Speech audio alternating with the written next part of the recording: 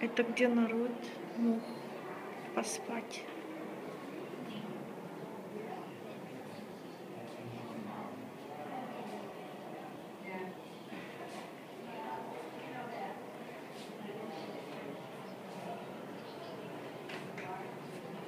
Умыться. Сходить куда надо. Полный отказ. Спасибо, хоть потолки высокие.